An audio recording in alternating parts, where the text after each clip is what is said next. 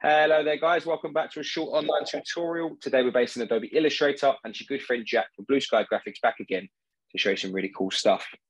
What I would like to do today guys is show you your intertwine options within Adobe Illustrator. As you can see here, this black arrow looks like it's intertwining with the typography here. For example, going through the letter O or through the letter P, just to really give you that sort of intertwine look. And what I would like to do is show you the process that you processes and the steps that you need to take to follow and create such effects. Trust me when I say it's a very easy thing to do. Okay, so what I'm going to do now is press Command Zero on Mac or Control Zero on Windows just to go back to normal view mode. And using my selection tool here, I'm just going to select everything like so and backspace to remove. So, so first of all, let's create our typography. So with our typography tool here, just going to come through and click on the artboard and let's write the word explore. Just going to change the color of this now. Let's go to this here to white. And using the shortcut Shift on a uh, Mac on, and Windows, you can keep it proportionate. And Option on a Mac or Alt on Windows to resize from the center point there, like so. And with that selected, I'm just going to come to our alignment tools at the top here and just get that aligned nicely on our artboard.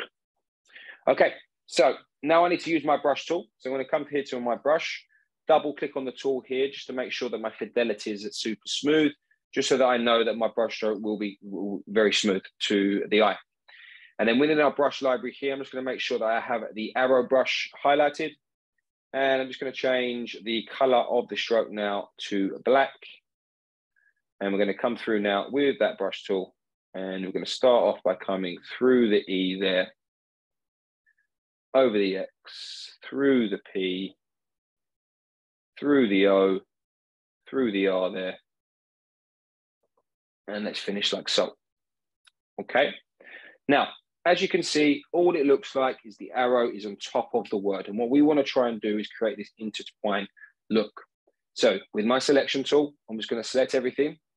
And then if I go to object, we have intertwine and then make and all you need to do, guys, is create a selection or using the lasso tool here, like so, over what you want to intertwine. And if you release, as you can see, the uh, intertwine is quite effective. So I want to say I want to leave that P going through the P there. So I'm gonna say let's take away this and intertwine that section there. Wonderful. Let's say we have it going through there, like so. And I'm going to come through here like so. And let's remove this section here.